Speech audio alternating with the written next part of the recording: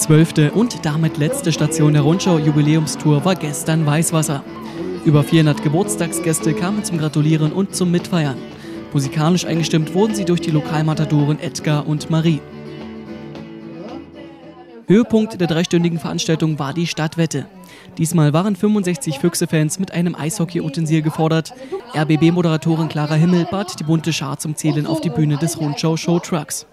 Als dann die Zahl 66 verkündet wurde, war der Jubel groß. Insgesamt machten 91 Füchse-Fans diesen Gewinn möglich und begeisterten Rundschau-Geschäftsführer Andreas Heinkel anscheinend so, dass dieser die Siegprämie spontan auf 500 Euro verdoppelte. Der Gewinn kommt den Vereinen TSG Kraftwerk Boxberg und TSC Kristall zugute, die am 13. März durch einen Brand ihr Vereinshaus verloren haben.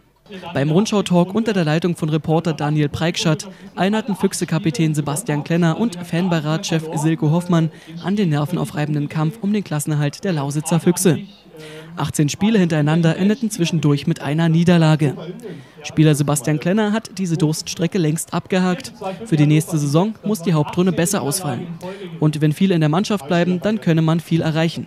Dass auch die Fans nicht verzagt sind, liege an ihrem blau-gelben Herzen, so Silko Hoffmann. Für ein unterhaltsames Rahmenprogramm sorgten die TSC-Turniertänzer Artem Galaktionov und Hanna Großer, die Tanzzwerge Little Ice Angels, Dance Attack und die ESW Cheerleaders.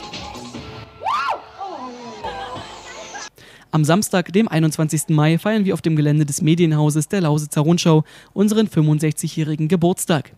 Kommen Sie vorbei und schauen Sie hinter die Kulissen. Wie wurde Zeitung gemacht und wie kommen die Nachrichten aus aller Welt aufs Papier und letztendlich in Ihren Briefkasten?